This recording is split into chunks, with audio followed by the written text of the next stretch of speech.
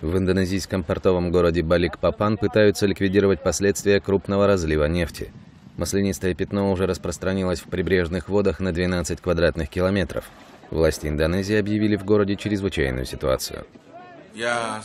Общественность должна знать, что в городе сейчас чрезвычайная ситуация. Это значит, что каждый должен проявлять осторожность, чтобы не вызвать новый пожар.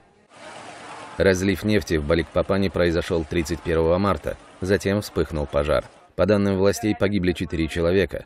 Огонь удалось потушить, но огромное нефтяное пятно осталось.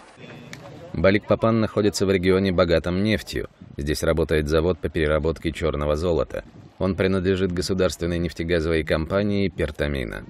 Руководство компании намерено расследовать причины инцидента, при этом оно утверждает, что в подводном трубопроводе, принадлежащем Пертамина, утечек нефти не было.